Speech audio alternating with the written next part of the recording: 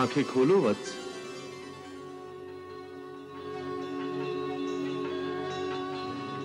आपने हमारी प्रार्थना सुन ली प्रभु। हाँ। आपके दर्शनों से हमारी तपस्या सफल हो गई प्रभु। आपको बार बार प्रणाम। हे ऋषि कुमारों आप चारों ने मुझे प्रसन्न किया। बच्चा निष्पाप होता है, निर्विकार होता है। इसीलिए आपने बालक ही रहने की कामना की, जो पूर्ण हुई,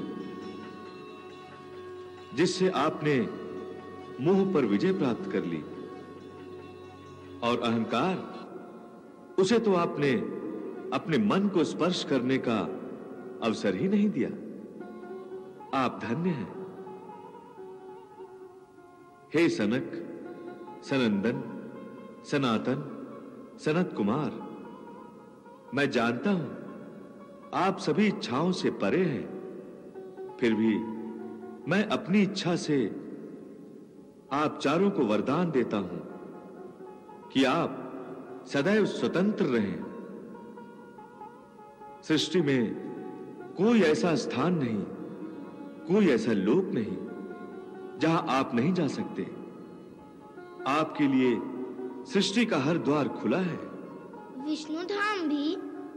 हाँ सनातन आप चारों के माध्यम से ही ज्ञान और भक्ति का प्रसार होगा। प्रभु हम जब चाहे तब आपके प्रत्यक्ष दर्शन कर सकेंगे। निश्चय ही। हम अनुग्रहित हुए प्रभु।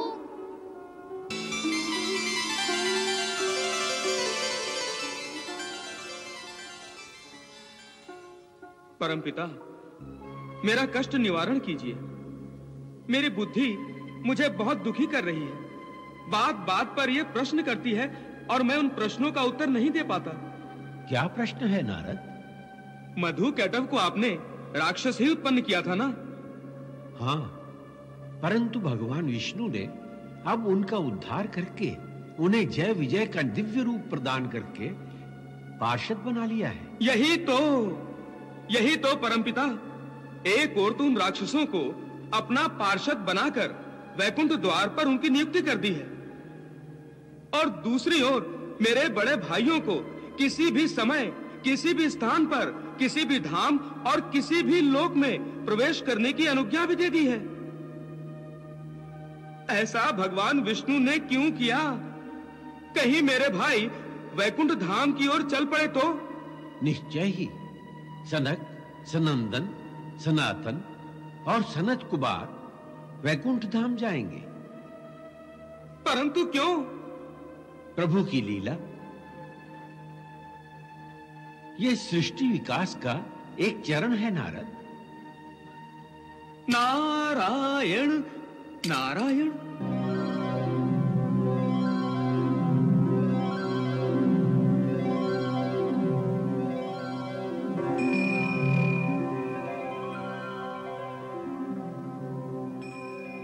रुक क्यों गए? हमें वरदान प्राप्त है। हम किसी भी समय प्रभु के प्रत्यक्ष दर्शन कर सकते हैं। चलो भीतर चलो। ऋषिवरो हम क्षमा चाहते हैं। हम इस समय आपको भीतर नहीं जाने देंगे। हाँ प्रभु विश्राम कर रहे हैं। किंतु हमें तो स्वयं प्रभु ने अनुज्ञा दी है। हम किसी भी समय उनके दर्शन कर सकते हैं। इसलिए हे पार्षदों हमें ना रोकिए हमें जाने दीजिए। नहीं महात्माओं हम विवश हैं। हम आपको प्रभु के विश्राम में बाधा नहीं डालने देंगे। भ्राता श्री सनंदन जरा ध्यान से देखो ये वैकुंठ धाम ही। है निश्चय यही वैकुंठ धाम है। वैकुंठ धाम तो निर्विकार है। यहाँ विकारों को स्थान कैसे मिला?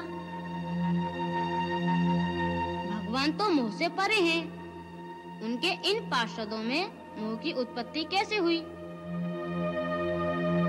हाँ भ्राता श्री निरंकार परमात्मा के द्वार पर अहंकार ने आकार कैसे धारण कर लिया?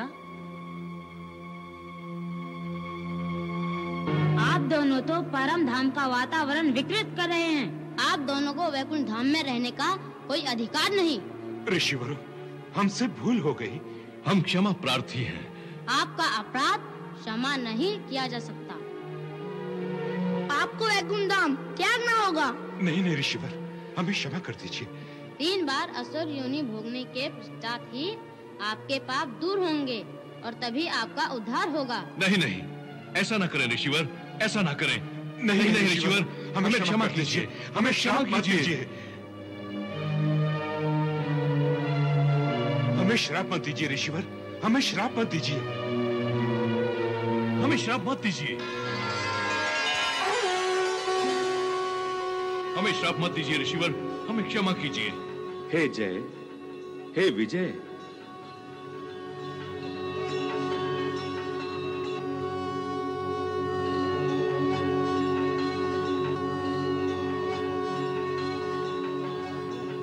निराश होने की आवश्यकता नहीं है पार्षद। वैकुंठ लोक से तुम्हारा पतन निश्चित था। सनक सनंदन सनातन और सनत कुमार तो केवल इस पतन का माध्यम बन गए। परंतु ऐसा क्यों प्रभु? क्यों? सृष्टि के विकास में तुम दोनों को ब्रह्मदेव का सहयोग देना है। असुर कुल में तुम्हें तीन जन्म लेने हैं और जन्म के पश्चात मेरा विरोध करना है। इस प्रकार सब लोगों में, धर्म के महात्म्य को बताने में अप्रत्यक्ष रूप से मुझे तुम्हारी सहायता मिलेगी। इसलिए हे जय, हे विजय, इन ऋषियों के शाप को वरदान समझकर स्वीकार करो। जो आज्ञा प्रभु।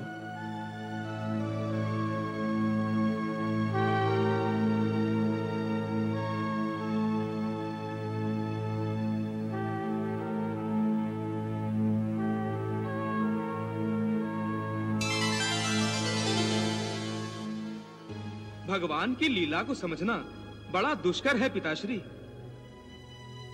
जय विजय के पतन के लिए मेरे भाइयों को माध्यम बना लिया प्रभु ने।